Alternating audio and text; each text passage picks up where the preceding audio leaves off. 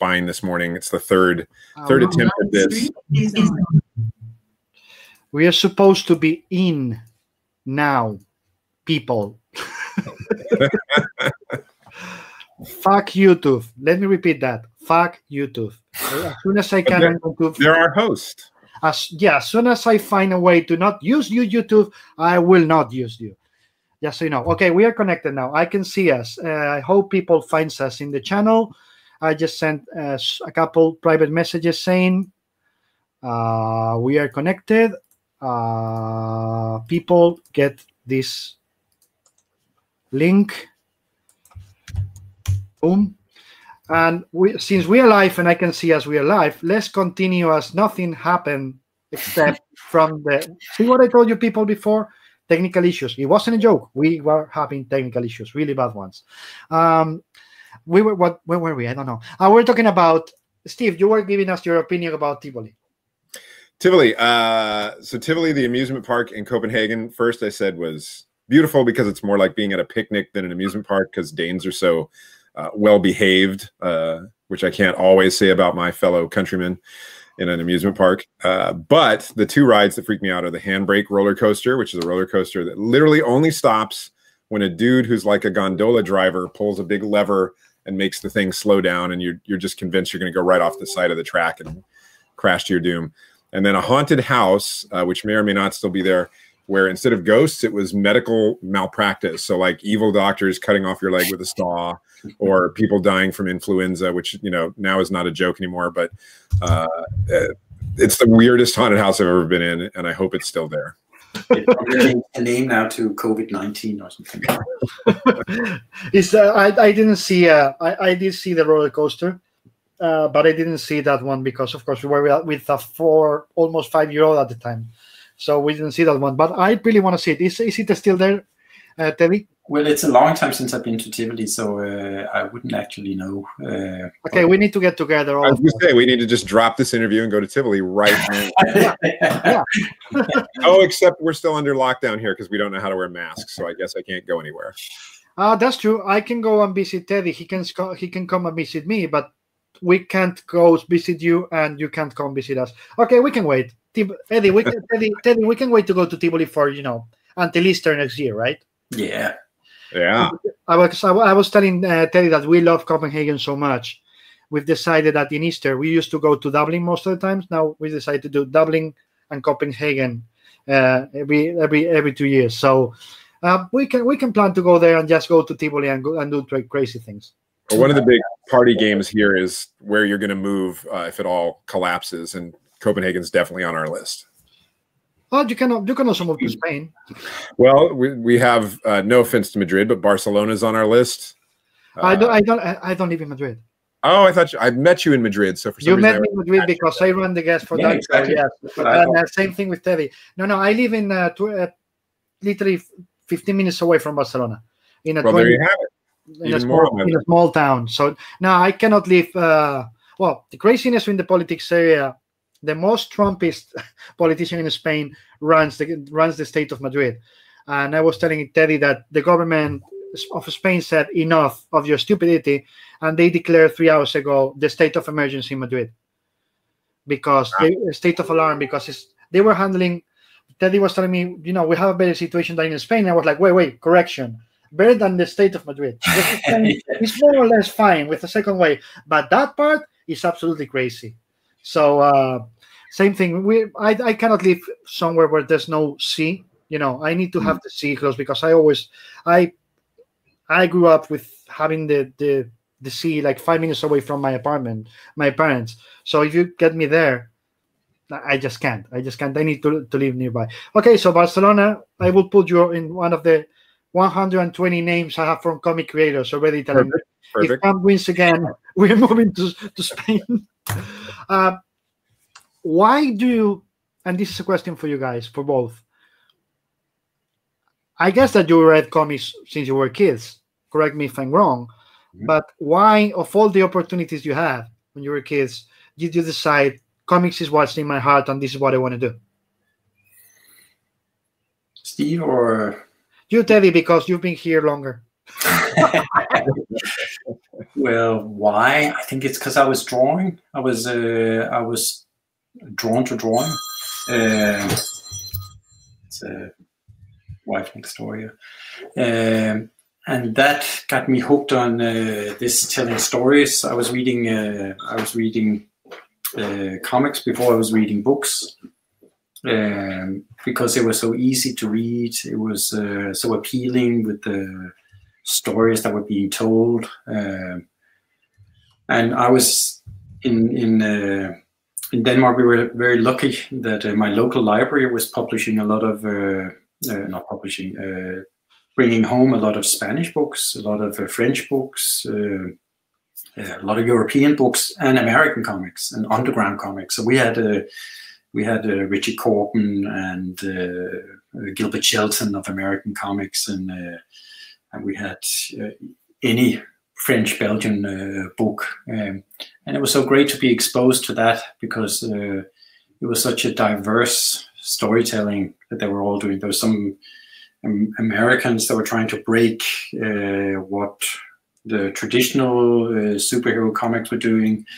Um, and then there were the, the, what I started with was the Smurfs and uh, uh, uh, I don't know what he's called, little strong kid uh, who can lift anything. Uh, also by Peyo. Uh, I don't know what the English name is. don't worry.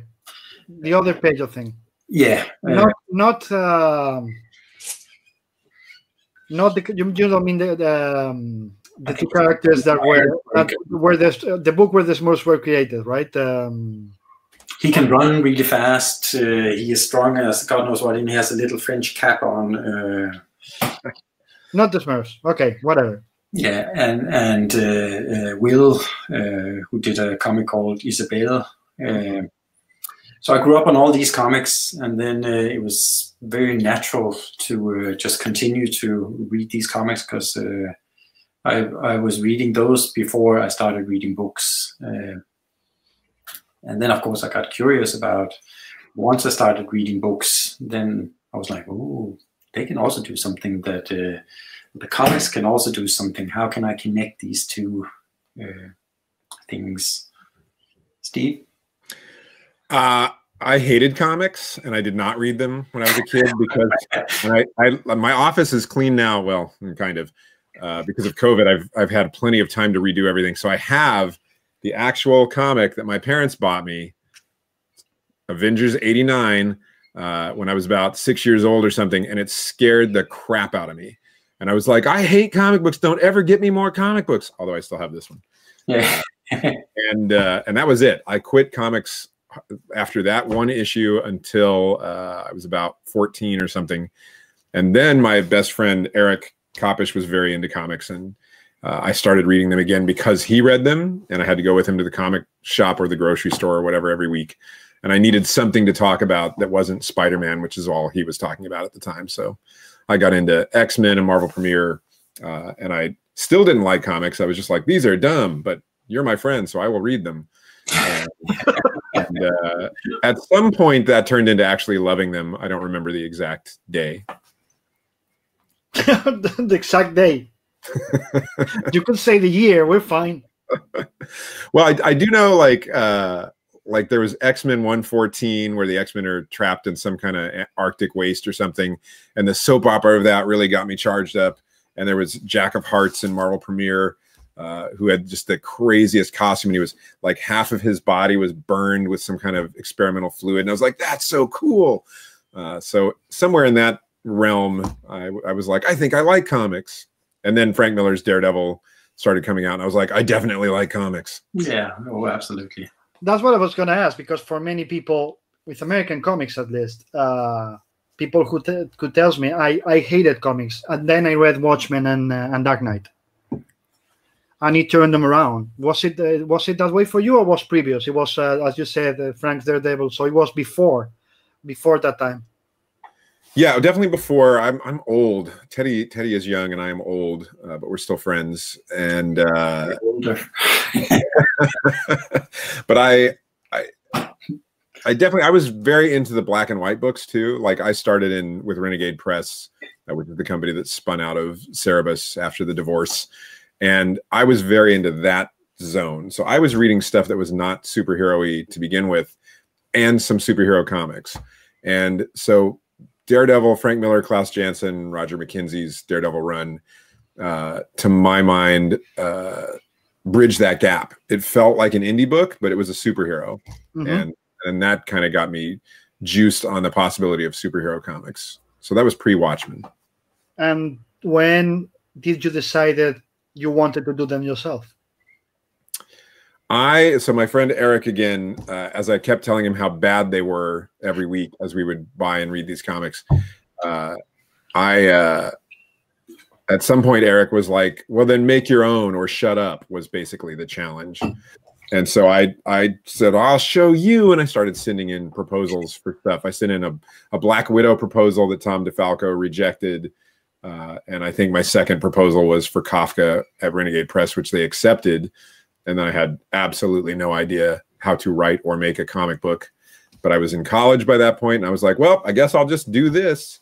And I found Stefano Gaudiano, who drew it, was also at my same college, and a mutual friend introduced us.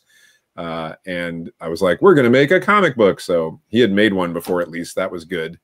Uh, and uh, we literally just cranked out that series in my dorm room for six months. So, what kind of writing had you done before, Steve? Had you written articles for or local paper, school paper, or little short stories for yourself, or? Yeah, pretty much nothing. I had, uh, I had, so I was a, in college, I was an aerospace engineering major for a while and I hated it. Uh, and my, all of my electives were writing classes like poetry. And uh, I like, I, have never been a fan of, uh, not a fan, but I've never been attuned to prose. I've always been more into weird experimental poetry, theater. So I like I like the more concise writing forms. And comics is more like uh, drama or poetry or whatever when you get right down to it. Uh, so that seemed to suit suit me. It, it helped me definitely when I did Com- Kafka. The script was, you know, a car pulls up to a building. Have you seen him? Dan walks in or walks out and is spotted run. You know, it was like it was so sparse. And I'm sorry, Teddy, that it wasn't that way for you on House of Secrets. Um, but it was it was very, very, very sparse, which I think I try to get back to now, uh, just doing less uh, work. But that was because the stuff I was reading was very sparse. Mm-hmm. And in your case, Teddy, what was your start Oh, I think it was all. It was one long. I read Hal Foster, uh, Prince Valiant, uh, and that created some sort of a language for me that, uh, what you call it, that you could tell different stories than the the very young stories that I had been reading, Lucky Luke, etc. And then all these uh, French comics, the first uh, Moebius, uh, the Hermetic Garage. Mm-hmm. Had just come out. Richard Corbin's Den uh, had come out in uh, in in English, and those were like those were something very uh, different. and then among those that appeared, just a little, it was like I was so attracted to this language and this what words can do and what uh, pictures can do together. I was mostly uh, in love with the pictures at that point, but I was um, there something stimulating me about what the words could do, but they were secondary at that point uh, to me because I was drawing. That was my little uh, uh, private space. And then all these American comics started to explore that even more, like uh, Frank Miller's uh, Epic, uh, Steve's Amazon with Tim Sale. They were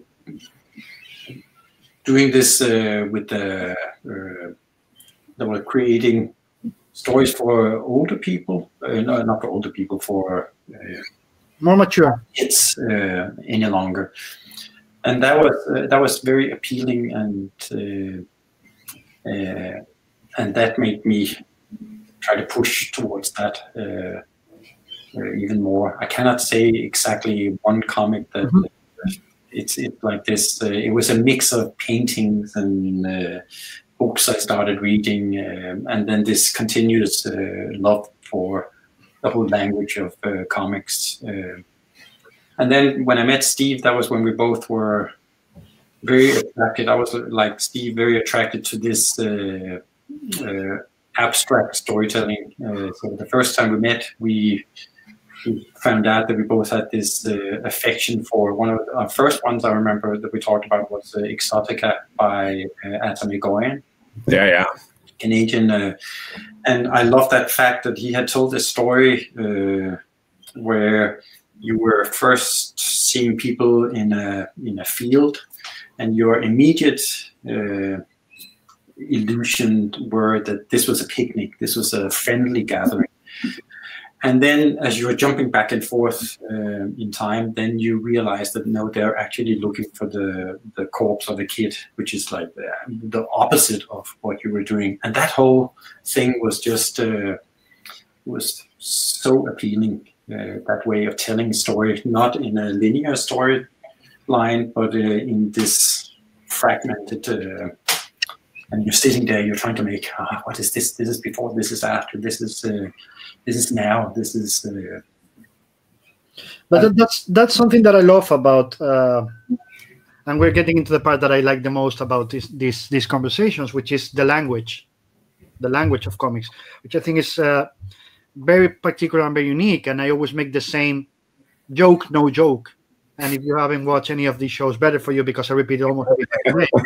um, because I always say that comics is the only art that can really define the theory of relativity. That's true.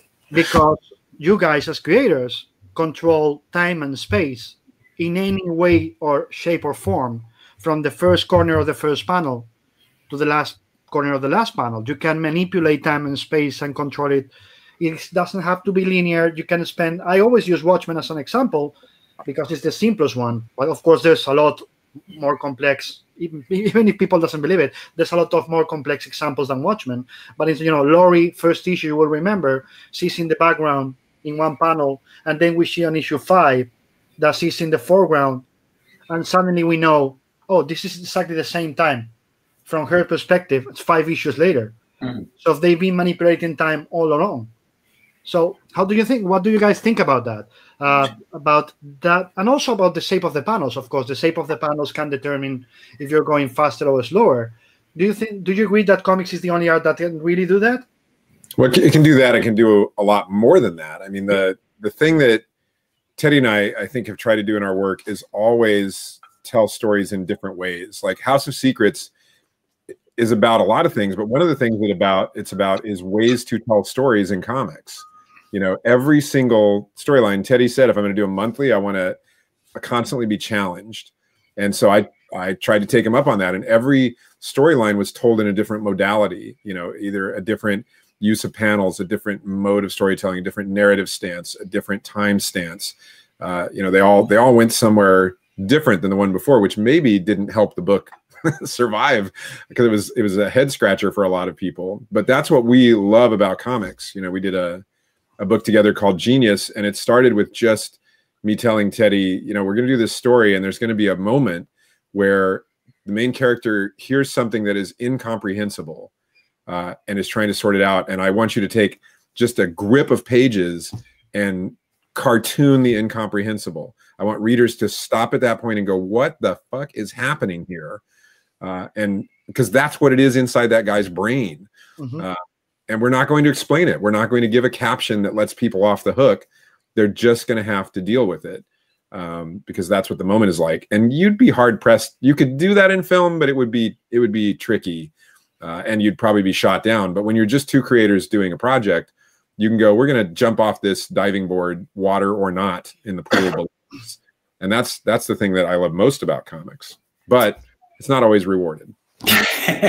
but it's such a what you call it. The great thing about comics versus uh, making films is this that uh, once you start films, uh, it's uh, any kind of film work. It's such a big collaboration between people, and comics is just uh, two people uh, and an editor. If if you are involving somebody else, but mostly it's just an artist and a writer that are just working with no limits, no uh, you don't have this uh, budget limit of oh you cannot do this and no we cannot do that voiceover you cannot do it.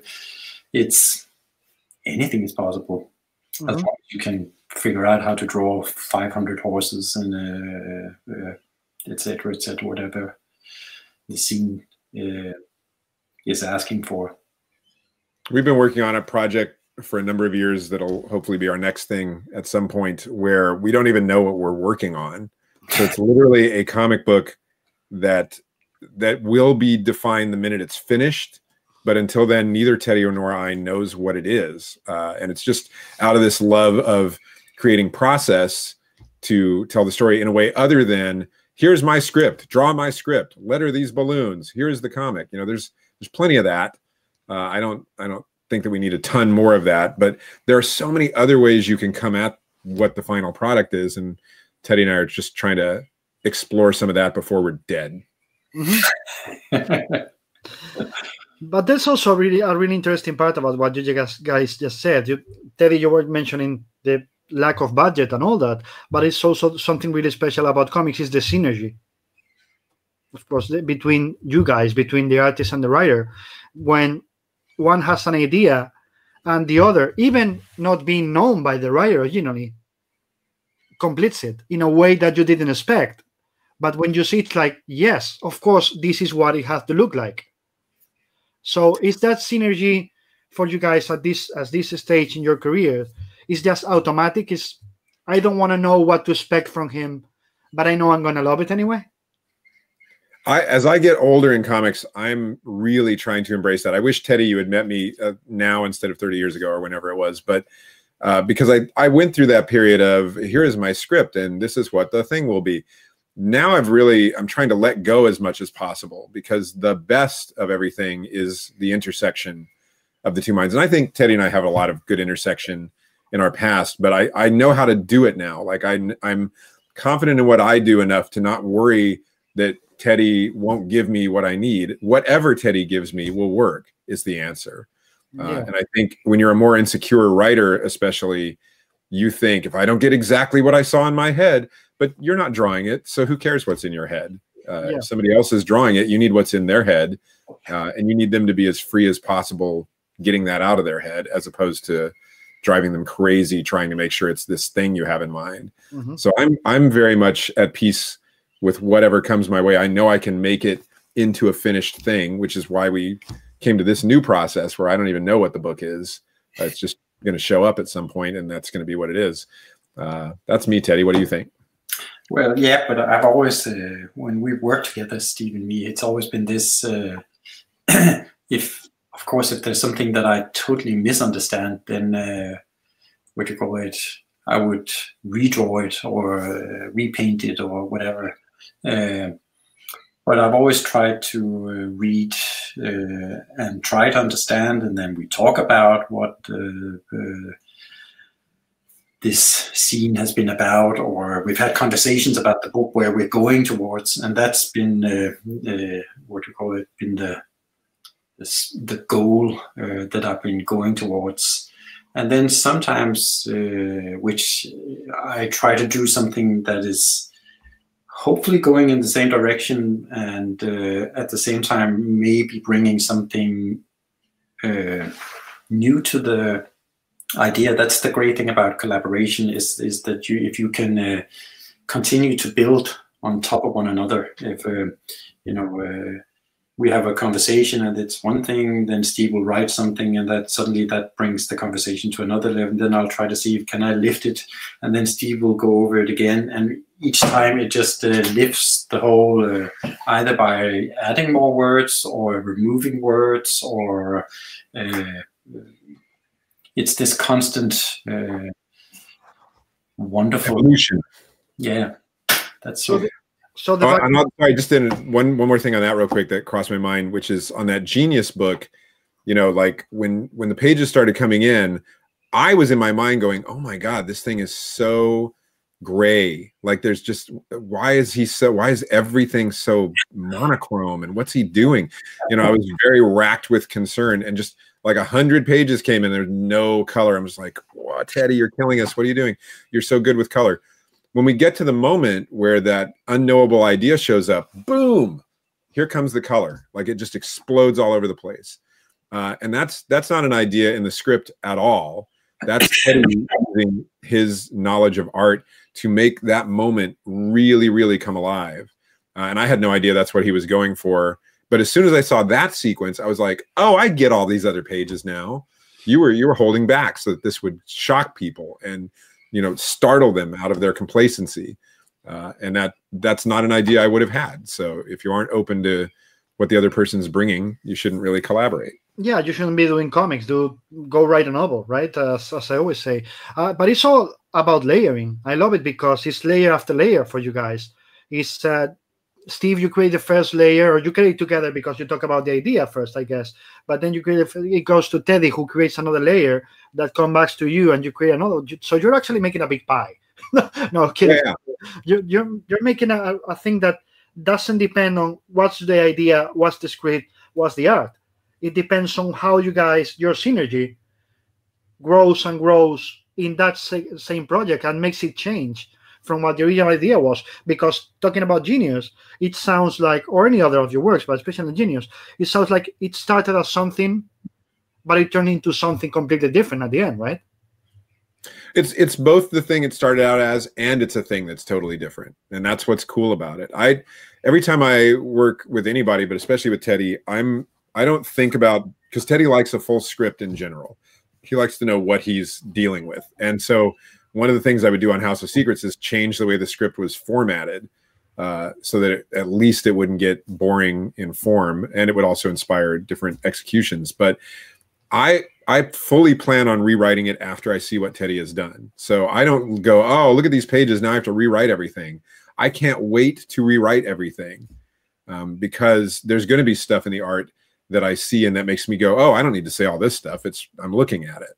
Or there's stuff in the art and I go, oh, I should I could say this now because that expression makes me think of X. Mm-hmm. So the rewrite uh, on the on the dialogue especially is one of the most fun parts of the collaboration because it gives you new eyes to look at the story with. So mm-hmm. I I love that part. Dave, do you want to tell about our our uh, comic book? What uh, what the process is? Uh, should we? Sure. Or you want me to do it? Yeah, that's what I was thinking. you can do it. Uh, so I'm fight. well, we had done we had done Teddy had done a book called The Red Diary uh, by himself during this time where we're supposed to be working together, and I was like, "How dare you do a book without me?" Uh, and then uh, he sent me a copy, and it was lovely, but it was in Danish, which I don't speak, and I'm like, "Well, I don't even know what the hell this thing says, but it's pretty." Uh, and then he was like, "Oh, maybe you could put it out through Image." And I was like, "Nope, because I didn't work on it. So too bad. I, my deal with Image is I have to work on it." Uh, and he's like, "Well, why don't you translate it?" And I was like, "Because I don't speak Danish." Uh, and then he sent me a, a, edition of it in French, and I was like, "I don't speak French either."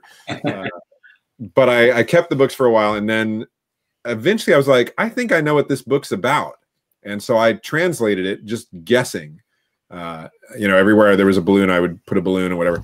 And so I, Teddy's like, well, I can just send you. I have the script in English. I'm like, no, no, no, that's okay. I got it. Uh, and I said, keep your script, and I'll send you my script, and we'll trade one day. so I finished my script. I sent it to Teddy, and he was like, oh dear, uh, it's very different. And sent me his script, and I was like, oh dear, it's very different. and and we decided just to publish both of those versions as a flip book uh, with his actual translation and then my what we call a transliteration and it was really cool because it showed that the same sequence of images with the same balloons in the same places could tell two completely different stories really different stories. Mm-hmm. um, so that blew my mind. I was like well that means that the script really is kind of arbitrary the dialogue script when you get right down to it. Because if i could tell two completely different stories with the same sequence of pictures all bets are off yeah. Uh, and so we said, well, what's what's the next evolution of that then? And so Teddy had this idea for a book. And I said, well, don't tell me the idea and don't script it. Just just draw that book. And then make all the panels. So the panels are the size that I'm seeing here on the screen. They're all rectangles, uh, wider than than taller. I was like, then don't send me pages, send me panels Mhm. and send them to me in random order so that I have no idea where you are in the book you're making. And when I get them all, I'm going to, like a jigsaw puzzle, put it together. I'm going to try to guess sequence and I'm going to try to guess dialogue. So, You guys are fucking nuts. I love it.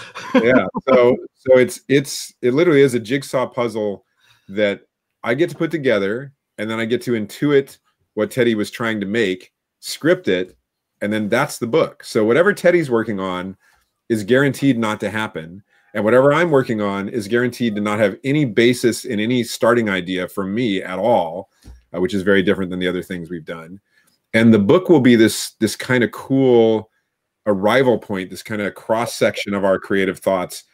Neither one of us will have the book we set out to make because there is no book that we set out to make. at Mhm. But it'll still be a book, and I think it'll still be good, and it'll still hold up. But we You won't know- have gotten there by any traditional modes. Is there is there any fear from you guys about what's behind that hill? You know, the precipice that is. Oh my God, are we going to be able to pull it off, or is just you know all bets are off? Let's just do it and see what happens. No, I know we'll be able to pull it off. Like I trust uh, Steve so much that uh, I know he can pull off anything. He's like, And I, I've I have I have like 60 of the panels. I have no idea from where they are so far, but I could do a book on those 60 panels. Mhm. So I, I'm not I'm not worried. I'm excited. I can't wait. Steve's the master. I've been sitting with Steve where he's been asking me to feed him uh, three words, and then I feed him uh, fireman, whatever, and then he blows me away with uh, quickly telling a story that uh, involves exactly all those words. Mhm. I, I haven't asked you. He's a master. Yeah, we know, we know, don't we know know that, but, but we don't we don't tell him that, that so too often because No one- no one tells me that we, we have to tell him that every once a year. You know, not not that much. No, kidding aside, I haven't asked you why and what why did you guys started to work together? I met Teddy at San Diego Con, and he was. I, I was very. The con had just gotten large, too large that year, uh, and now it's like ten times bigger than that. But I was just, I was exhausted and uh, just wanted to leave. And then I saw Teddy and Hope, his wife, sitting at this table, and they were just so calm and pleasant. I was like, I'm just going to stay here until they ask me to leave. and I knew Steve, who had done uh, the Amazon book. I hadn't read read uh, Kafka at that point, but I knew his Amazon work with uh, Tim Sale, and I was in love with that book. Uh, so once we got connected there, then uh, we started faxing. Those days when you were Ah, yes, I remember faxing. Ah, faxes. People now will be like, "Can you fax that to us?" And I, I, my answer is no, because no one has that technology anymore. in Germany, you have to uh, to have a what you call it, uh, establish a company. You have to have a fax machine. Yeah, hospitals here are obsessed with faxes. I'm like, shouldn't you have state of the art technology?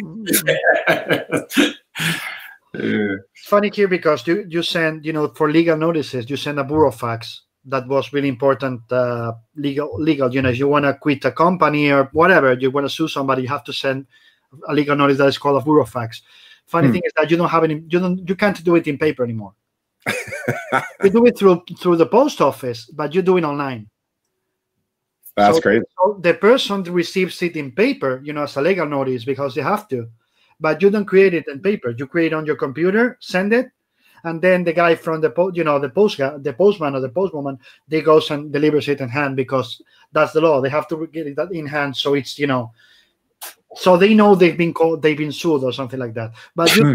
you don't create it in paper. So it's a really we we just a position of technology you know with the old ways. They still Yeah. have to get it in their hands but you don't you can't create it in hand you have to create it in the computer but yeah, anyway, my wife has a phone fax thing where you just take a picture and it it sends it to a fax machine, which is like what? Okay.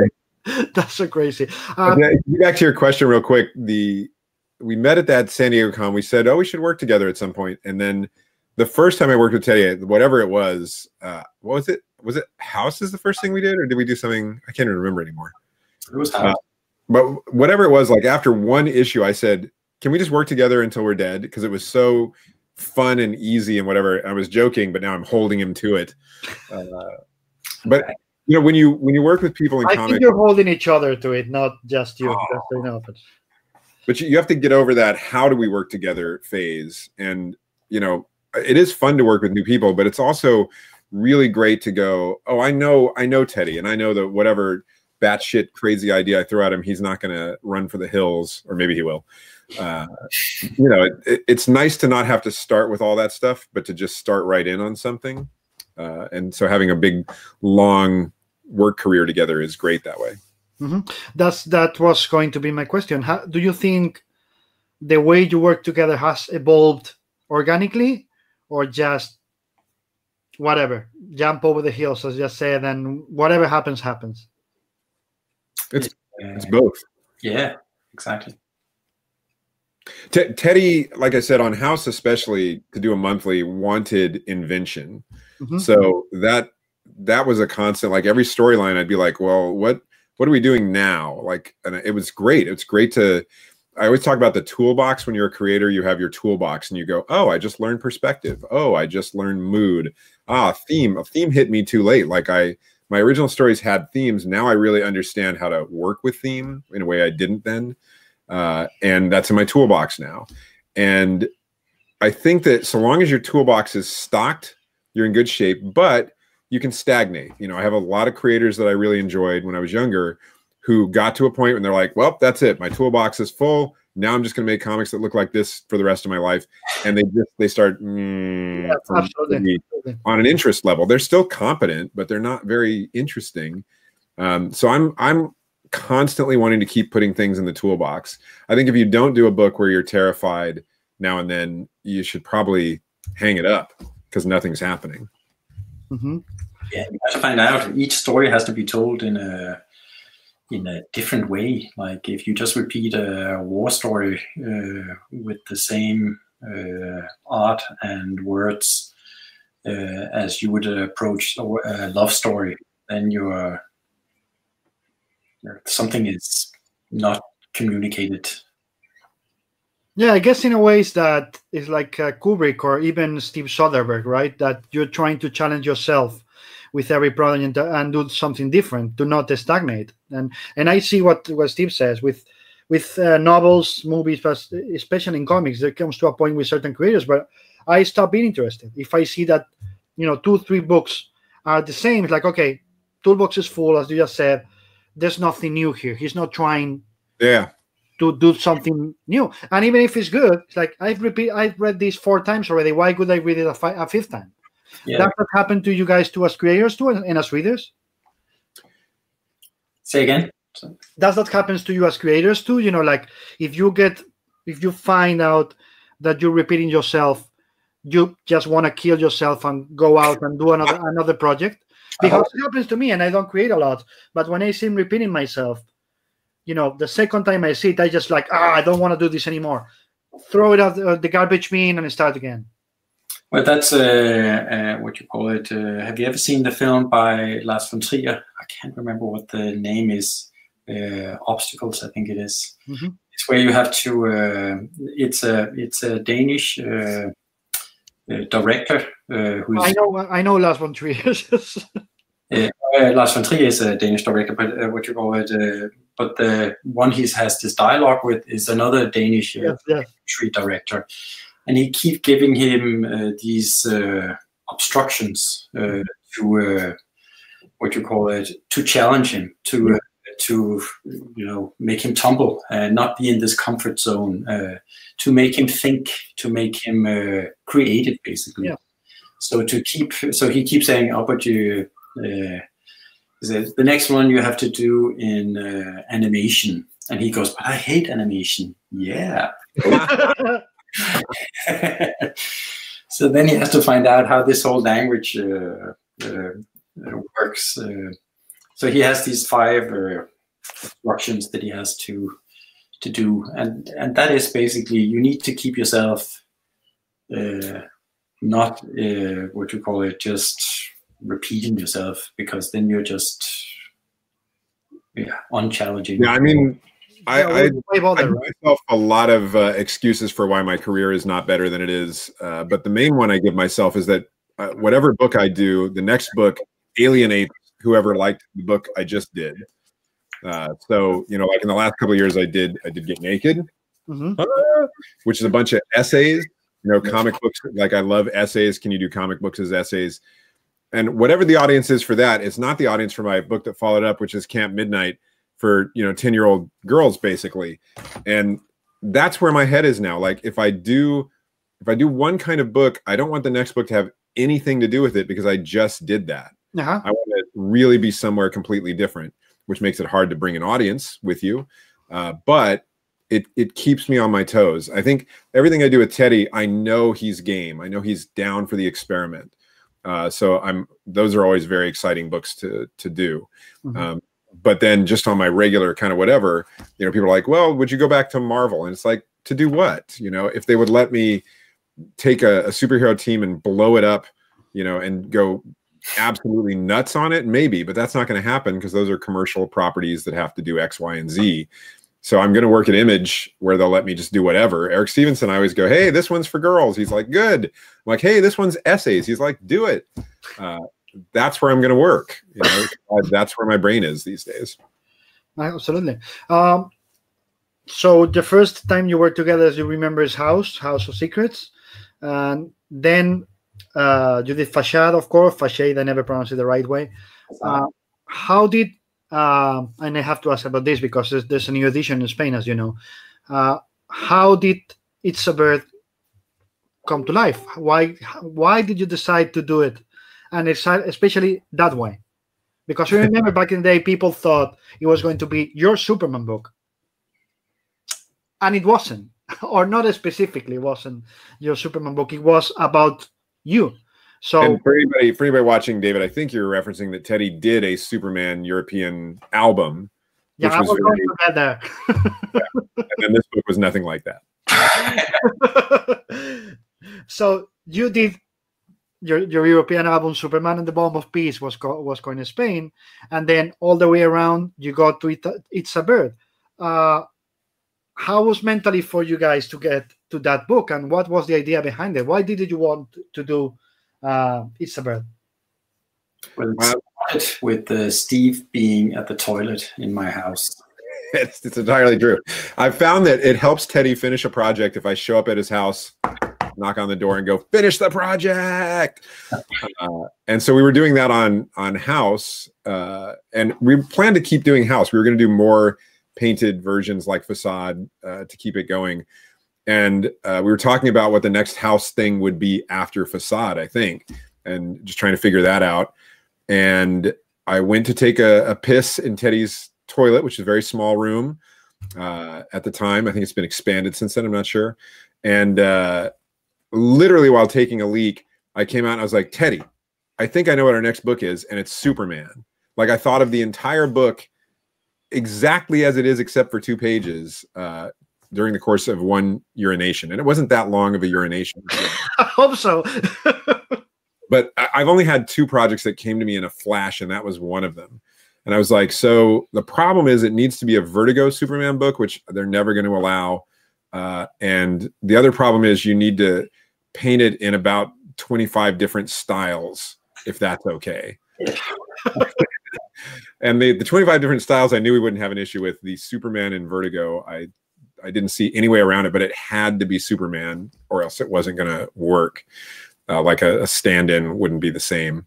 So uh, Teddy was immediately on board. We talked through it. He was like, "Oh yeah, okay." We had all these ideas.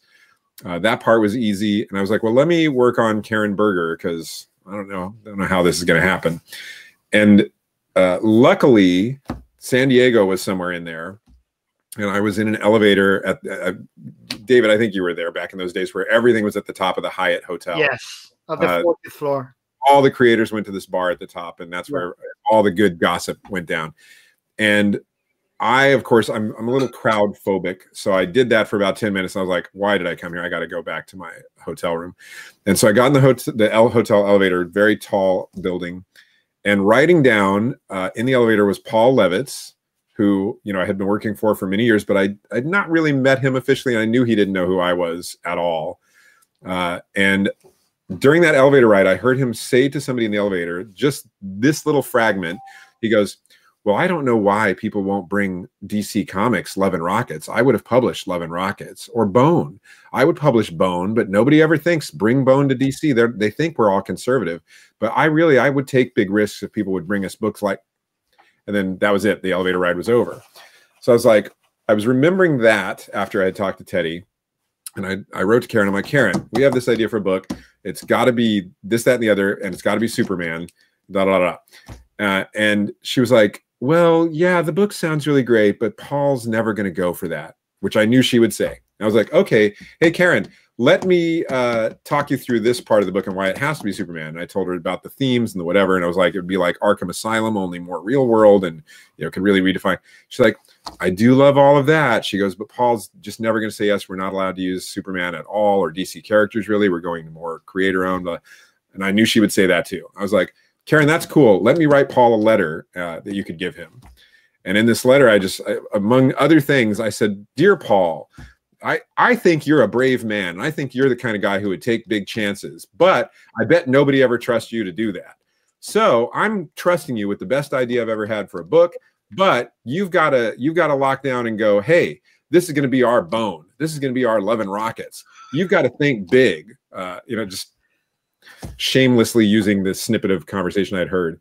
And so I said, Karen, give Paul this letter, have him read it while you're sitting there and see what he says. Uh, and I don't know if she did that exactly, but she she went to a meeting. She's like, okay, I'll give it to him, but don't hold your breath. And she called me a day later. She goes, Paul approved it on the spot. So that's how we got that through somehow. Because well, it is a book about probably, how much probably thinking, probably thinking, how did he know that? but it, it's a book about how much I don't like Superman, published by the people who control Superman. So that's that's an interesting. It is risky, and I, I applaud him for going there. Mm-hmm. And how was it for you, Teddy? Aside of the leaking part.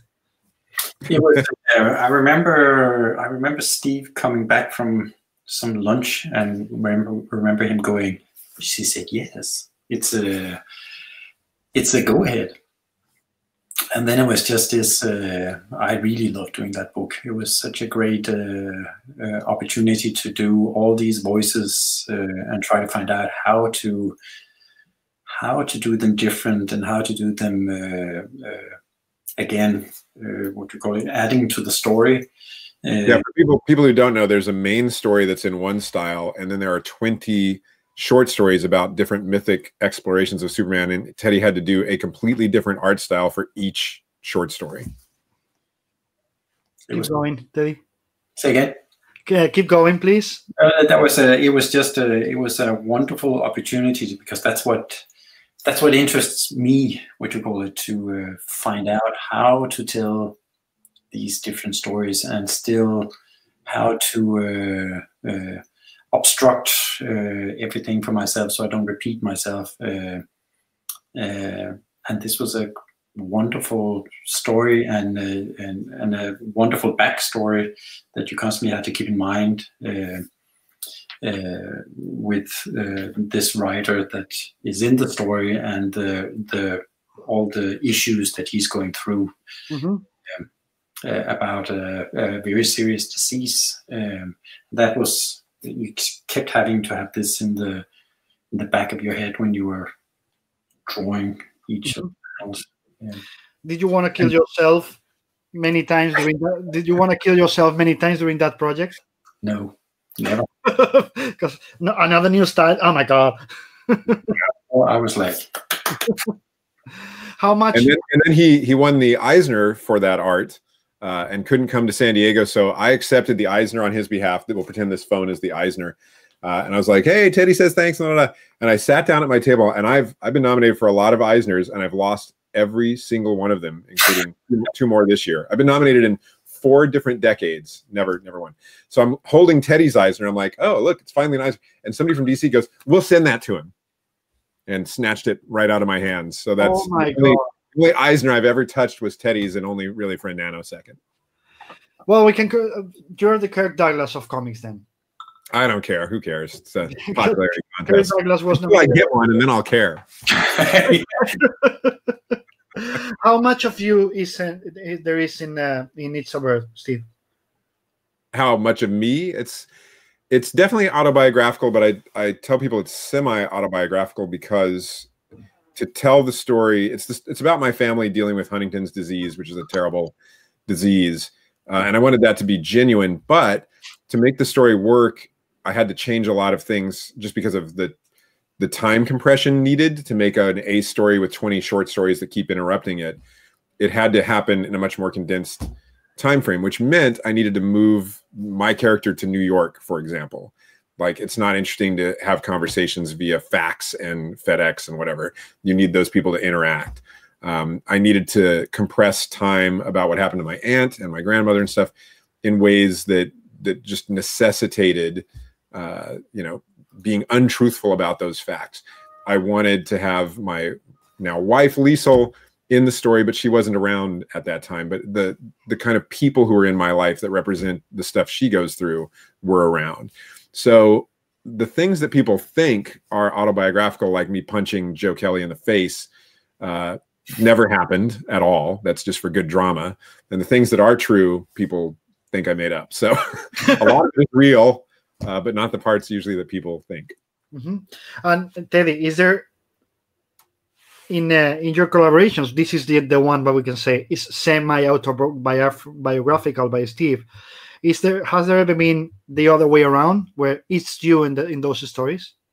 In uh, Genius, it's uh, it's uh, Hope and uh, Theodore. I think he's called uh, Ted. Yeah, Ted. Yeah, uh, and I semi did those based on uh, on me and uh, my dear wife Hope. Mm-hmm. And how did it feel? But that was fun. It's always fun to. Uh, it's always fun. Didn't you feel like uncomfortable? But it's not you. It's a it's a story. It's fiction. It's uh, it's uh, it's not the same as drawing a story for about my life and uh, uh, so it's pure fiction. It's uh... yes, that's that's that's that's exactly what I what I was asking. How much of it touched you as real, or you kept it all like this is not me? No, because it's uh, it's you just use that as a resource for or a source for uh, for uh, small parts uh, and uh, and nothing more. That's mm-hmm. yeah. Genius was was me using Teddy and his family from an observer kind of perspective, but putting it on a story that was about literally about Liesl's grandfather. Mm-hmm. Uh, so it is Teddy loves biographies and Steve loves experiments. So we tend to do a book that's biographical, then a book that's totally experimental, or we merge them when we can. Mm-hmm. Um, so Teddy doesn't. Teddy didn't particularly want a book about Teddy, but uh, there was some interesting family stuff happening with him at the time about raising kids and you know just relationship maintenance and whatever that were bits and pieces of conversations we had had over the year that I just stole and shoved into a, a story that was also a biographical about Liesl's grandfather.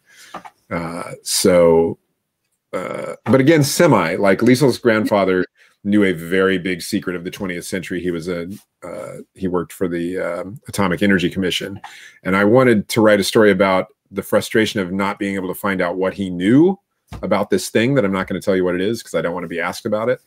Um, and so we we shifted that to a lost Einstein theory.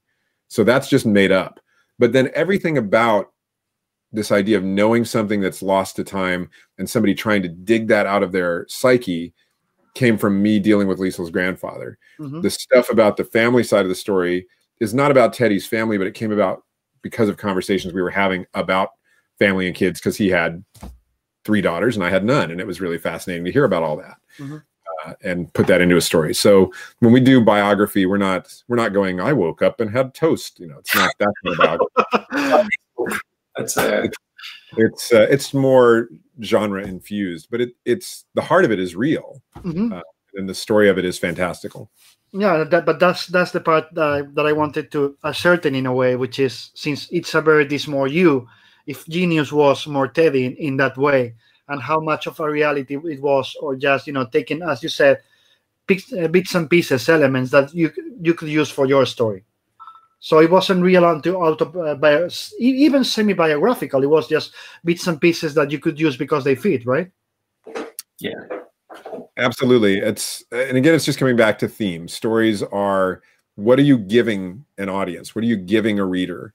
Mm-hmm. Uh, and that's for too many people. That's a stack of plot points, and I'm so done with that kind of story. Yeah. Uh, you know i i need to be given something that i leave and I, it changes the way i think about my world it changes the way i live my life it changes the way i interact with people so i start with that now i go what am i going to give you if you read this comic book uh, that will be worth your time and worth the 15 bucks or whatever you spent uh, whether you know it or not and i you know my favorite one of my favorite films is the 400 blows which i hated the first time i saw it i could not have hated it more and then years later, I was very depressed and I was thinking about, you know, Antoine Doinel running into the ocean and stopping and having nowhere left to run.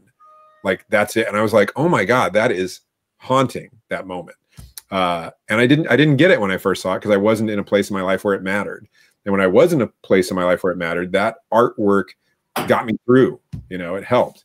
Yeah. So I'm always thinking of stories in that way.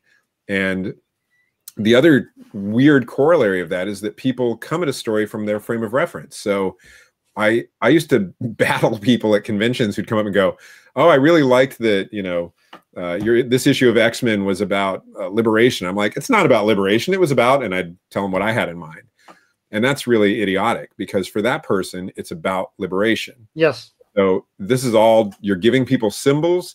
You're hoping they see it the way you see it, but if they don't, if they saw it in any way that resonated with them, that's valid. Mm-hmm. So now I'm very I'm very interested in it's more interesting to me that people read a book and get something totally different out of it than what I had in mind. Um, mm-hmm. because that means their life put them in a place where those symbols added up in a different way. And that's that's fascinating to me. That's also the really interesting part, Eddie. If you, I don't know if you agree, because comics, as I always say, work uh, out of pattern recognition in many ways. We don't need to see any, to see everything. It's suggested and then we complete it. Even if, as I, as I said before, relativity, blah blah blah, control time and space. It's also at the same time really funny because it also needs a huge amount of reader collaboration. Oh, absolutely, yeah. And then the reader, you give him, as, as Steve says, you can give him A, but he can say delta or gamma or theta or whatever. They're going to interpret whatever the fuck they want because again, it's pattern recognition. Is oh, I you, I hear a bush moving and I think there's a tiger there. It's gonna kill me. You know, like like the caveman. But other people is gonna say, oh, I'm just going to go there and play with the rabbit, and then get killed by the tiger. But anyway, do you know mm. what I mean? It's also always about giving them clues. It's the part that I love the most about comics when they try to literally tell me every single fucking detail and go so baroque. It's like this is not a comic. I need to be able to interpret and get the answers myself. What do you think about that? But Well, I also would exactly like what Steve says. It's then the reader puts in exactly what they were. It can be, uh, you know, you can read two uh, books at uh, two different times, say ten years apart, and you're at different points in your life, uh, different parts in your life, and you will get something different out of the story because your focus is uh, is you're more grounded or you're more frustrated or whatever. So you will you will grasp different things. But if you spell it out uh, and make the story just one to one if i can use that uh, uh, then you're leaving nothing to the reader uh, then except they just get what they see and uh, read so the more open you can leave small little bits to interpretation, and that can be emotional uh, uh, things. That's mostly the connection that we have with other people. That is uh, these, uh, or people will identify themselves as in these little emotional frustration, attachments, marriages, relationships. but if you yeah spell it out, then you you lose uh, way too much of the reader's uh, interest. Yeah, the uh, Amazon, which Teddy keeps referencing, this is a Italy edition. That's what I have by my desk for some reason. Italy or Spanish? Is it? Oh, it's Norma. It's Spanish. Yeah, Spanish. Uh, uh, perfect. Looks like I planned it, but I didn't. Um, Just you know that that book functions on one of my favorite things about comics, and you can do it in other visual storytelling, but there are three narrative threads in that book that are contradicting each other. Uh, and they you, you have what you're seeing you have what he's writing about what's happening which is one level delayed response so he's processing and you have what he writes about what happened much later so all of those things are in are in contradiction with one another at various places and i want the reader to go which one of these things is the thing you know because it's, it's a book about uh, in a lot of ways perceptions and and how you interpret things and so making the reader be the person who has to interpret the symbols overtly is really fun. Uh, I like that kind of stuff. Teddy and I also love Matati, and Matati books. You know, you have to do a lot of work to figure out what is this, like what what literally is happening. Not in a bad way. The storytelling is beautiful, the art's beautiful, and you know, if, if there's script, it's usually really interesting. But it's a book that makes you come over here and yeah. do some work. Uh, and I, you know, I think as Teddy and I become really old men in comics, we'll start doing that shit where people are like, "What the hell was that?" I, I, think that's fair. I think you know, I like a book like that. I like a. When I was a kid, I read Lady or the Tiger, which I hated. It's a short story where there's two doors and one's got a lady and one's got a tiger, and you don't know. There's nothing you can change. They just decided to do. Live streaming is on. We're back again. Uh, sorry, guys. YouTube doing their thing. Uh, you were saying about Amazon. You were completing the, your thoughts. Well, I, strangely enough, I was talking about the lady or the tiger and how it stops, tiger, sorry about that. stops with no warning, and you just have to decide what happens next. We should have ended the interview right there because it would have been an interview that stopped where people don't know what happens next, and they would have had to go on with their life and decide, and it would have been perfect. I'm sorry about that. I, I, I, I'm sorry only that we are now talking again. Uh, I, I, I used to be, as a creator, very concerned about making sure I was very specific and and end pointy, and now I'm the opposite. I'm concerned that I'm too specific and too end point driven, and I'm trying to avoid that. Mm-hmm. But also, what you, you're talking about Mattotti. I, one thing that I always love about Mattotti or Toppi or these this kind of creators is that I think they work through emotion. I mean, in, in mm-hmm. every corner of it, Mattotti always thought, at least that's what he told me when he, I met him many years ago, that for him, colors are only emotions. Oh, absolutely. Yeah. You know, you can see it in his work. It's the storytelling devices, and I, and I wanted to ask you about it to, to Teddy too. Color as a storytelling device. Have you ever thought, and this is going to sound like a weird question because I'm a weird guy, as you all know, for knowing me for more than 20 years. Have you ever thought about the colors as sounds? Oh, absolutely. I see what you call it, the whole uh, language as uh, as uh, what you call it. When I start doing a book, what I'm always searching for is uh, the tone of the book, the the voice of the book, and that's the that's the hardest part. I think uh, the rest is just uh, a lot of hard work of a lot of work where you're just uh, executing to some way, but of course, uh, what do you call it, but not with uh, not with uh, just uh, one page, two page, three page. but the hardest part is always finding that tone and being in constant doubt about is this the right tone? Is this the ah fucking no I I don't know if this is right. Um, so that is really uh, what you call it, uh, uh, music orientated in my ears. Yeah, that's the other part I, I wanted to ask you because for me, always comics are, as we said, colors are a storytelling tool that for me it has sounds, but also it's when you connect it to sounds, that's when I connect comic storytelling, at least the, the one I like, with a symphony. Yeah. Mm because it's uh, many people think that comic has to be linear, but I don't. I think they have to have ups, lows, changes of pace. You know, the moment when boom, you get the big blow with the with the horns or with the drums or whatever, and then you go soft with the violin, and when you don't expect, you go back to the drums. For for me, that's why I always say comics are math, comics are symphony, are music, and comics are sounds and that's when people looks at me like you're crazy but i think that's the, the part that they don't want to see they want the linear Yeah, I lay the out my limit, story. the limit they impose on comics that comics really don't have. What do you think, Steve? you know, I lay out my stories on graph paper because I look at them mathematically. I look at I look at rhythm before I look at plot. Yes. So I look at where I want density and where I want non-density and where I want a giant moment or I want to rush you to something and then leave you with something else. So I I'm always doing grids of what that's going to feel like before I know what it is. Mm-hmm. But you interpret it to us uh, is consciously you talk about the math, but consciously for you is also music or is unconscious Uh, the pacing. poetry for me more than Uh-huh. music and i don't mean i don't mean the words the text poetry but poetry is fascinating because you know like a, a novel is you tell a story in as many words as it takes and poetry is you tell a story in as few words as you can get away with. Mhm. uh, and it's often about a feeling instead of about a plot which i'm into. Uh, and it's often about the the absences instead of what's there.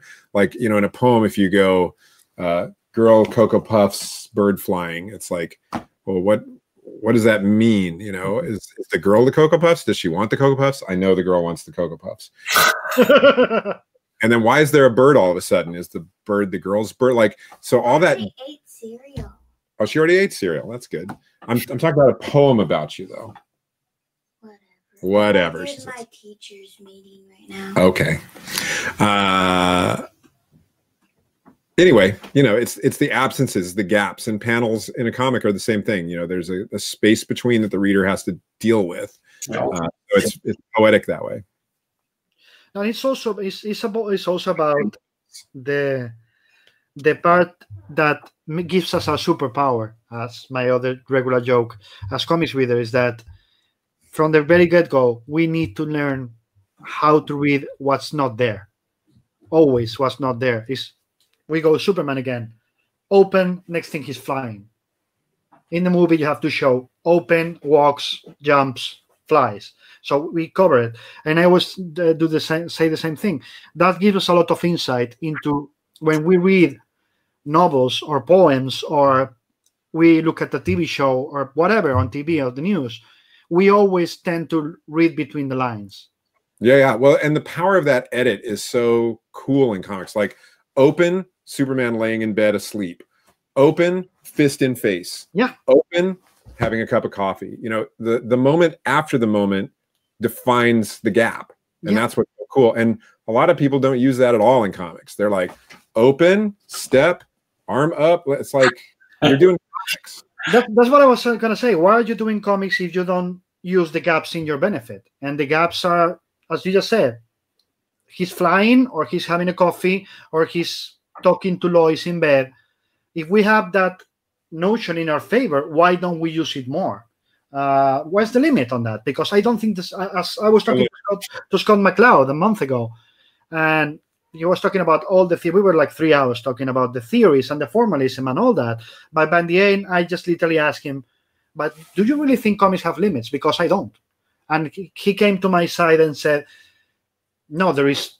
There really isn't. There's forms uh, of of interpreting it, but if we're good with what we do, if we know what we're doing, if we're good good comic storytellers, there shouldn't be any limits to what we say." The I- I have to pick my wife up, so uh, I, I will have to put a time limit on the rest of my conversation. But uh, you know, it's, it's somebody said yesterday during dinner. There's there's 12 notes, and all the music that's ever been made has been made with those 12 notes. Now, granted, there's more than 12 notes because of halftones, but people can make a ton of music with 12 notes mm-hmm. over thousands of years. You mm-hmm. know, there's there's certain pigments that the eye can see.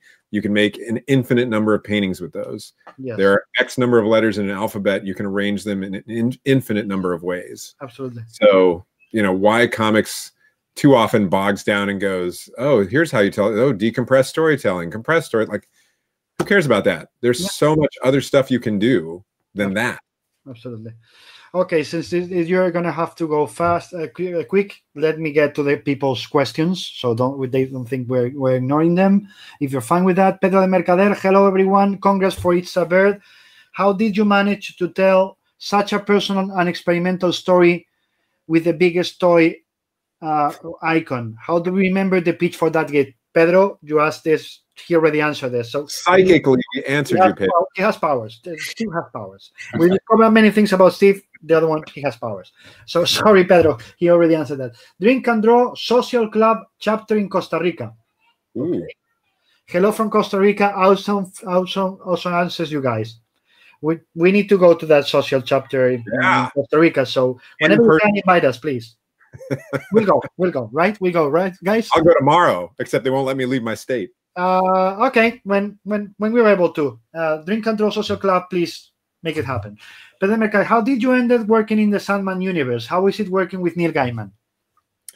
I worked on Sandman Mystery Theater. You worked on Sandman Midnight Theater. I did not. I, I interacted with Neil on occasion, but I didn't work with him. I worked with Matt Wagner. But Teddy, you worked directly with Neil and Matt. On a couple of occasions, uh, also did uh, Neil did one of my solo stories, Mhm. and that's he's uh, like Steve, a wonderful collaborator, just like uh, Matt is a fantastic uh, writer as well. He's uh, smart. Uh, I like working with uh, smart writers that are. Yeah, uh, uh, doing run of the mill uh, kind of stuff. Uh, very easy to work with, very uh, open, just like Steve uh, is. Uh, yeah, what can I say? Uh, You can say that, an, that a, as I always repeat, and some writers hate me for it. A writer who's not open to listen to his artist who should not do be, be doing comics. No, it's less, this uh, dictatorship in uh, comics is not a, a benefit for neither artist or uh, like stubborn artists that just want their way is also not what you No, it makes bad comics. It makes for bad comics when uh, where there's an dictatorship from the artist or from the writer. It's gotta be a synergy between both. Yeah, I won't make excuses for all of all of them or us, uh, but I will say that it's it's really insecurity. It's because uh, you know when I was younger and I couldn't draw, I was afraid I wasn't doing enough, or that I was doing the wrong stuff, or that I you know like it's it's insecurity that leads to that control for the most part. Mhm. Uh, and the more secure you get in working with people and working with yourself, the more you can let that go. Absolutely. Jose Francisco Martinez, hello. Oh, you you were going to say something, Teddy? I say, but that's also why uh, what you're going, where you will get uh, surprises uh, uh, along the way that you won't get if you're controlling the everything. And hopefully, nice surprises, not just uh, I've had both kinds, but the other kind is still a challenge to solve with storytelling, and that's fine too. yeah. Okay, Jose Francisco Martinez, hello Teddy, hello Steve. Uh, can they show? Oh, so can they show something from the new project they're working on? if this was zoom i could i could do that but i don't i don't know this portal so i Yeah, that's that's easy. You go to the Steve. You go to the screen, search your screen part. yeah i'm lower- not going to share my screen because i have a lot of work that i'm doing open on it and i don't No, have time no, to close but you can you can pick you can pick the you can pick the um, The the folder the folder you want to show. But if you don't want to risk it, don't worry about it. Don't worry. teddy about do you want to do you want to show something like the zebra submarine or something Uh, I can find something. Meanwhile, I'll ask you another question, Steve, uh, because this one is for you. Steve, how much of your experience in comic have uh, has served you to write movies or for the work in the Ben 10 series? uh i mean working in animation on ben 10 specifically uh, it it helps. It definitely helps because there's an economy to animation that comics shares. Um, it's a different medium so it has its own toolbox that you've got to master. It's a different age demo than i usually work in in comics. I started doing the camp midnight books because kids who love ben 10 or big hero 6 or whatever would come up and say you know their parents at convention like what of your books can my kids read? And i'm like none of them they're r-rated. Uh, so i started tr- try to do some kids books. Kids stuff is much harder like you have fewer words basically that you can use. So if i need to say uh, you know uh, prognosis and that's not going to fly for a seven year old i've got to figure out how a seven year old says prognosis. Uh, and that's i find that very challenging of all the writing that i do. Um, but it comics is good training in general because it is it crosses it's storyboarding it's comics it's in some cases film uh, we've covered in many ways why it's not but it is not a bad primer for that uh, Mhm. so it definitely helps Okay, another one. You talked uh, that your way to get in touch was via faxes. If you had to make some little changes uh, or or any kind of details, how was the communication to do that? Well, Teddy and I worked on House of Secrets with phone calls that cost more than we made on the book, I think. I'm, I'm in LA and he's in Copenhagen. And back then, there was no Skype and no free way to get like if we had to talk to each other, it was going to be a lot of money. And you know, you can tell when we talk together, it lasts for quite a while. Uh, so if there were emergencies or like I don't know or whatever, it had to be a phone call, and it was really expensive. So we'd try to get off quickly. The truth is, the collaborative process in comics. What's so great is I send a script he sends breakdowns i send dialogue he sends pencils we see inks we get so there are moments where you can adapt to whatever's happening and fix it mm-hmm. uh, if there's something broken or improve it if there's something growing mm-hmm. uh, so that's mostly how we did it then now you can just co- collaborate live on the internet uh, yeah. so it's very different these days yeah uh, whenever you're ready, you let us know. Okay, okay, Teddy, no rush. Yeah. Ezekiel Shapira, saludos David. Hello, Ezekiel. Pedro Mercader, for the the comic is for me the most creative art. I find uh, there's so some bold, weird, crazy ideas and solutions that it would be impossible to use if you tried in a, in a novel or a movie. Do you agree? Totally agree. And uh, go make comics, sir, because that's the right attitude. he wants to. Uh, do you approach the all of your projects uh, doing the same previous process, like before you actually start, you know, writing, or is it necessary to adapt your train of thoughts, your, the way you think for each one of them? I intentionally change the way I work on every project so that I don't get bored or stagnant. Mm-hmm. Uh, like the Camp Midnight books, I, I did. I started on page one and I wrote to page 120 uh, and I would reread whatever I'd written and then just keep writing 10 more pages at a time uh, with no outline, like because I always outline. And I was like, I need to let go of the outline and just see if I can survive page to page. Mm-hmm. And it, you know, it, it was terrifying, but that was good. And there were things about it that worked really well that I will now put in my toolbox. And there were other things that got rushed because I didn't think enough ahead in my my my mind. But I and then I won't do another book that way. Like that's the book I did that way, and I won't do another one like that. that was enough. no, but literally because there are other ways to get there. So I, it's not it's not that it scared me away. It's that now I've done that, mm-hmm. and now I will do something else. Okay, absolutely. Uh, Pedro, hi, good afternoon to all of you. I'll just share my screen. Okay, go for it. Uh, oh shit! It says uh, share. Yes. Share this.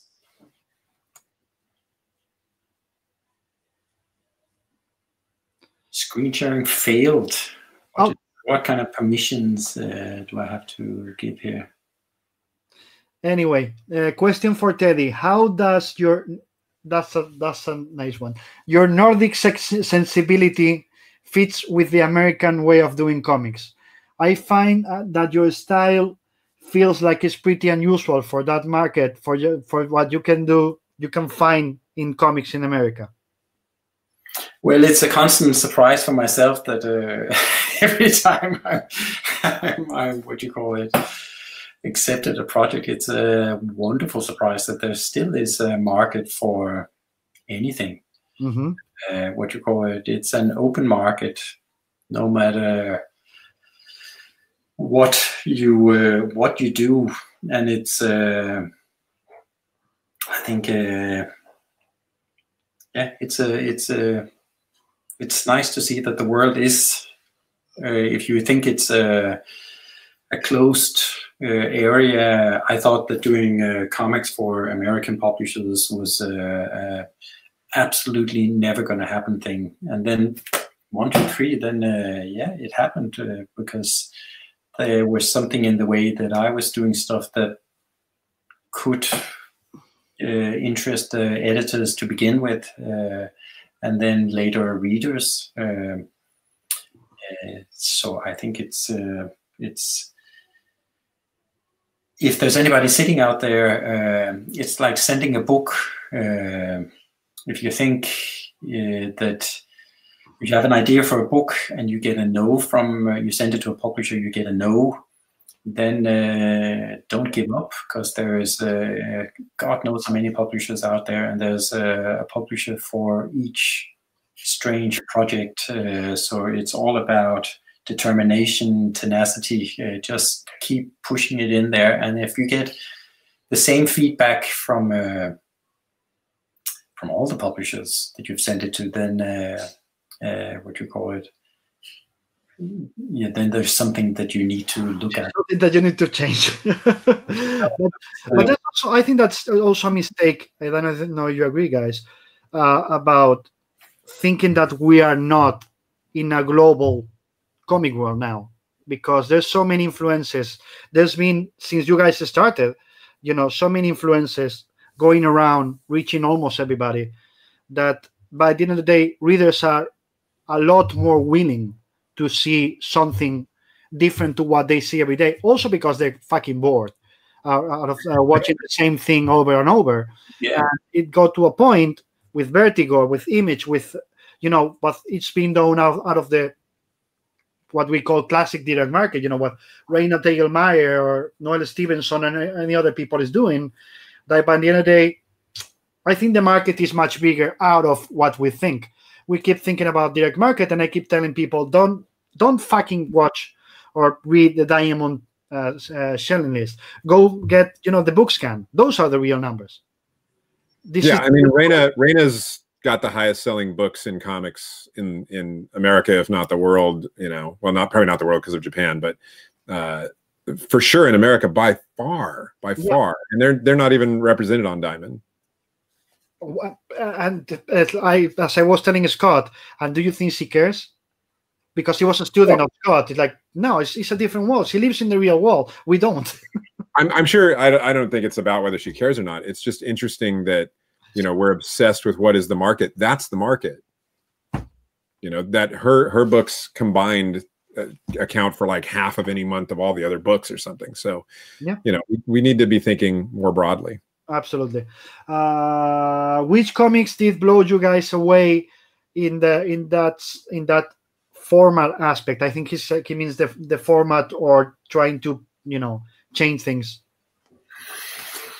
As I talked to you about earlier, I like what uh, Jorge Gonzalez from uh, Madrid is uh, is doing. Um, I love what uh, Javier Olivares uh, -huh. is is doing as well he's always doing wonderful, pushing himself. Uh, yeah. Uh, I love what Mattotti is doing. Um, uh, what else? Who else do I love? Uh, I love what McKean uh, pushes. Uh, what else? I love uh, Blutch, French artist Blutch. Um, comic people. Who else do I love? There's always some. I, I, all of those are good with me. You know, Charles Burns uh, is always like, "What? What is happening here?" I like the gaps in that. Mm-hmm. Uh, you know, I, I loved the book Nao of Brown that Glyn Dillon did, uh, and it, it was a more, it had a linear run, but then it had some intrusive elements. I'm like, what? What are these supposed to mean? Mm-hmm. That was interesting to me uh, you know, there's some cool stuff in Japan that's you know manga that's all over the place, really experimental that I, I like. Um, I, I got a page up from our project, but I can't. I don't have a button to share screen for some reason. So nah, don't worry about it. We could, guys, you can see it on Twitter later, or we will fix another way. Another time, another time you come to, to see it. Uh, Drink and Draw Social Club Costa Rica. Anytime you guys you want. When this is over, anytime come to Costa Rica. Okay? Yeah. Now we're talking. Let's end on that. You guys make it happen for us. We we we're we're game. Uh, Jose Francisco Martinez. Uh, are they going to use the pandemic situation and the distant way to communicate? And I guess the, that we don't have the chance to see each other. In your case, uh, in person, to create a future uh, bio, biographical story like uh, Dupuy and Berberian uh, do. He's saying. Well, uh, I love those guys too. Uh, yeah, exactly. Uh, what you call it? Well, all what you call it. Steve has come to go to Denmark almost once a year. Uh, pretty steady uh, and uh, what you call it. Uh, that's of course on hold with this uh, goddamn pandemic. Teddy got me a gig teaching at an animation school over there. Uh, so I, I, come over once or twice a year, but I just had to do my first over Zoom version of the class this year because of the, the pandemic. So, yeah, the weird thing is, comic book creators have worked at home like this forever. Yes. So when they, when the shutdown came, I was like, oh, I, I did this all the time. I know what this is. Uh, and didn't really feel all that different to me. Uh, exactly. Mm-hmm. Another uh, book I forgot to mention that I read recently was uh, Adrian Tomine's. Uh, yeah. there were so many what you call it situations where I was going, oh yeah, I've been. all of you, all of you, Albert Monteys told me yesterday he's reading the same book. All of you are reading the same book, and, and all of you are like, yeah, yeah, just like that. Some of you are like, yeah, and some are like, yeah, well, yeah. signing with nobody at it, been there. Yeah, exactly. That up at the Eisner's, been there a few times. Mm-hmm. yes, uh, Jose, Jose Francisco clarifies. Dupuy Beberia, Nicolás de Crisili, Cyril Pedrosa. I was mentioning oh, artists, yeah. artists that Teddy likes. Uh, he's yeah, yeah. agree. Uh, well, we haven't mentioned Bill Sienkiewicz. Say again. I just, I just helped Bill. Sienkiewicz. Bill bought a house here, and I was like, Bill, let me come over because I'm really good at uh, structural inspection, which I am strangely. Uh, so I, I got to spend the day with him uh, crawling under his crawl space and stuff. But in the in the intervening moments, having little Bill Sienkiewicz conversations, I was super fanboy. Yeah, yeah, he's he's, he's amazing. Anyway, uh, and also, sorry, no no comics conversation with me should not uh, end without mentioning Love and Rockets, which is uh, experimental in its longevity, if nothing else, yeah. quality. No, and, and I, I, I keep saying I was expecting this by the way. The Love and Rockets mentioned, so I can say my part, which is it was so ahead of its time, mm-hmm. so ahead of its time, and it still is in a big way. Yeah. But that I, when when I talk to people about influences for creators, many times I mention Jaime or Beto, and they don't see it. Like, go back, just go back and see how ahead of their time they were in many many things that we're seeing now not people being better than them, just trying to emulate them. Yeah. Jaime bought a house nearby me, uh, and I see him at the comic shop back when we could go to the comic shop quite regularly or at the grocery store. And I'm I'm so smitten as a fanboy that I'm just an idiot every time. And I he must think I'm like a stalker or a killer or something because uh, I can't, I just cannot communicate when I'm in his presence, uh, and I just seem like I seem now like an idiot. Uh, They're both geniuses. Um, one last question because I know Steve, you need to leave.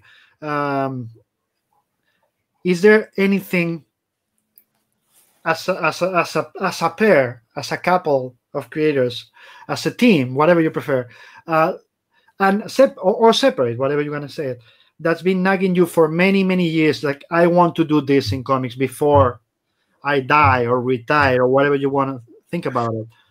But you've never been able to and you you keep saying we are going to do this sooner or later but we're going to do it. No i think we're doing it. Yeah we've been pretty fortunate to get to do it. Like even on a vertigo book like house of secrets we got away with a lot of stuff. It's a bird we got away with murder. Uh, you know and the, the projects we've done since then have people have really let us do often to their dismay what we want to uh, so i think we're very fortunate and to be able to keep doing that is the dream mm-hmm. Teddy? well yeah i have to say the same yeah i have one project that uh, what you call it i'm doing on the side what you call it for myself uh, uh, which is a biography um, but uh, I want to write a fate biography. Uh, uh, so I still need to do that. make it so uh, uh, hopefully people think that this is uh, an actual person that this uh, they go. You, it's very weird that you would say that because I was working with Rian Hughes a couple of years ago on a Vertigo thing that got killed when the Vertigo implosion happened. We we hadn't started. We had just talked through it and done the proposal, but it had been approved and it was a hoax. Like I'm very interested in the hoax comic we should talk offline at some point. Yeah.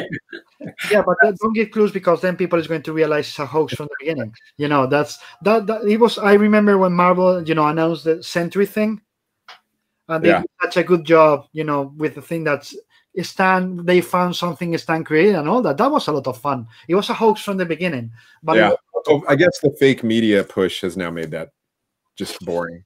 that, All right, I gotta but it's been a delight. Yes, let me just show you a thing before you leave.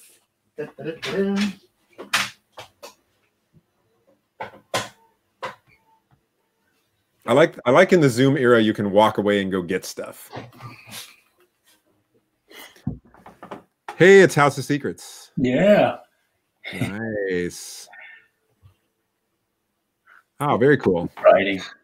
Is that from our, our trip to Madrid? I give these guys gave me. I don't remember if it was ninety nine or two thousand when when you were together in Madrid with me. So it What we are. was twenty years ago. It's still hanging in there as a as a really precious memory. Or of our- Nice. and Sure. thank you guys for all forever for always for always forever for everything. Well, thanks for thanks for letting me see the Guernica live and in person. Yeah, exactly. That was great. Thank you so much for being here, you guys. Please don't cut because I want to say proper goodbye to you after I cut the live feed. But uh, to all of you watching, thank you so much. Thank you for hanging on after you know the crazy shit with the connection and staying with us. Please wear your mask. Don't be assholes. Wear your mask. Don't make me want. To, don't make me go to your house and kick your fucking balls. Or some I like- I other like I like that ending. okay. Just because you missed the start with me ranting about the people who doesn't wear a mask. Anyway. Uh, They're they're not right. good for, good for you good for you that you missed that part. Anyway have a good weekend people. With us on monday mr jeff lemire. Ooh. stay cool stay safe. Don't be assholes. Take care of others. Wear your mask. Bye. In three